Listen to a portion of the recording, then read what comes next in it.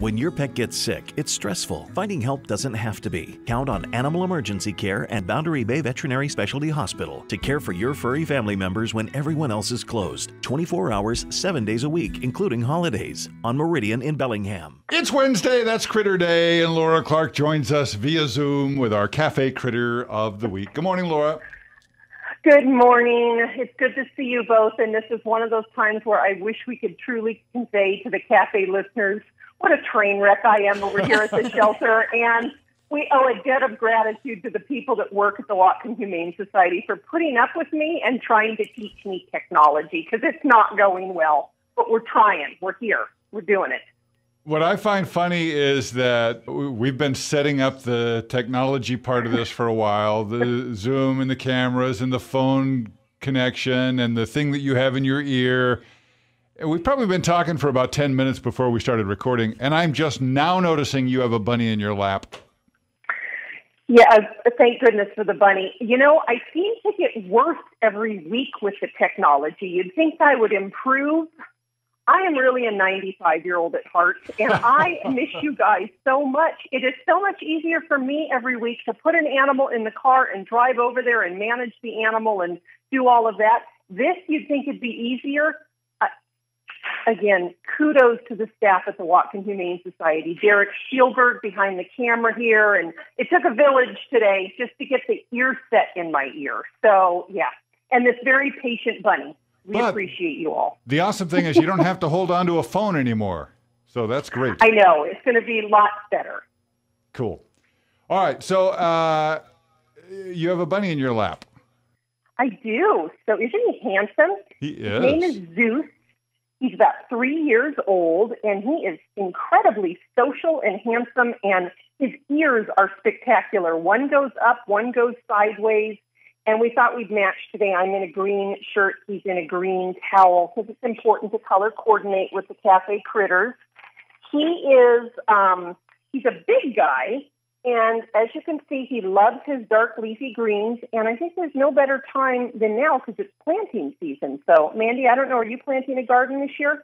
I am planting a garden this year. Yeah. Well, I'm doing stuff in pots because my main garden, it's a it's a whole thing, but I'm going through a garden redesign. But leafy right. greens are so easy and, and herbs are so easy to grow in pots that I'll have plenty of those to spare with the critters. The deer get to well, them first good. though, Laura. So Yes, I know. We got to feed the deer and the slugs in, in Washington. so, so, you know, our climate is perfect for dark leafy greens. And as you can see, this guy is, is this is actually, um, I brought these in today. We have a CSA with local farmers at my household. Nice. And, um, most of them end up here at the shelter because you know I'm a Cheeto girl myself. So, but I'm gonna I'm gonna set the example. Mm, eat your veggies. Yum. And you can share them with your small animal, like Zeus here. And as you can see, he's totally chill. He's just hanging out here.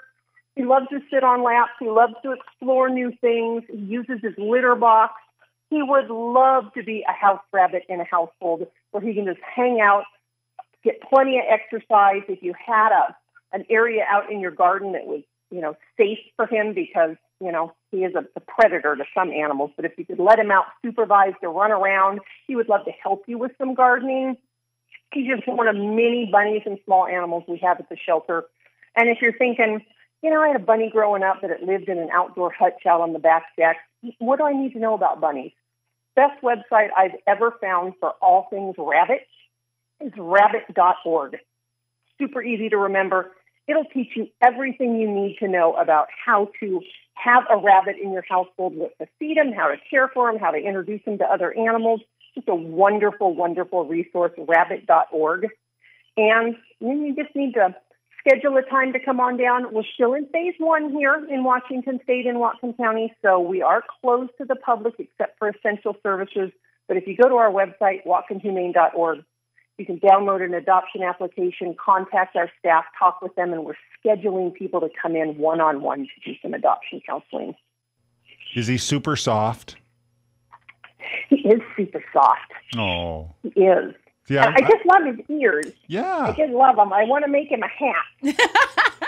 With ear holes? yes, exactly. I, I, I miss petting the critter. I know. It's just, uh, you know, I'm so thankful to you folks for, and everybody at Cascade Radio Group for allowing us to do this and keep the word out that there are animals in need in our community. But it is, it's a little weird, isn't it? It is. It's Definitely. Very weird. So, so here's the question, Laura. The, the next phase here at KAFE Yeah. might be that we allow guests again with masks. So, is it better to do Oh. it this way, the way we're doing it, or in person with masks on? You know, I, I can mask up. I've got plenty of masks. We can even mask the animals. I was- that was- be. I was gonna ask think that. That's really up to you folks. And of course, your comfort level. We want to stay safe and we want to practice good social distancing, set the example. So, what's that, Mandy? I, I was going to ask if we could mask the critters, but I didn't want that to, to seem like weird or something. So, um, but I think we that'd can be fun. do whatever works for you guys and whatever works for the listeners. Um, When we get to the next step, we'll let you know. We'll take it from there. Now, i- that sounds perfect. can I steer back to the bunny for a minute? Mm-hmm. He looks big. Is he bigger than the average rabbit, or is that just because I'm seeing him hey, on TV? the camera adds 10 pounds, Oh, Dave. gotcha. All right. Exactly. he's not actually that big of a bunny. Okay. He's just um he's and he's not even plus size. He's just kind of, you know, large and in charge. And I think the ears, the ears make him look a little bit Yeah. bigger. But I'm telling you, what a guy. He's so great. And what I love about him is a lot of bunny hair gets really fluffy and it goes right up my nose. Not this guy. His his hair is super soft, but he's not shedding a lot. So he's got it all going on. So, for those not watching the Zoom video who are just hearing it on the radio, he's sitting in Laura's lap and he's been there the whole time. He hasn't really fidgeted or gotten weird about being there. He's just hanging out. He's pretty mellow. He's in awe of my lack of technological skills, is what he is. He's just like, I can't believe this lady. Zeus is available now for adoption from the Whatcom Humane Society. You have other bunnies. I know you have dogs because we can hear them in the background. You can hear them. We've got birds, hamsters to horses, everything in between. WhatcomHumane.org will get you where you need to go. Laura Clark, thank you so much. You guys have a great day. Thanks for your patience. Bye, Laura. Bye, Mandy.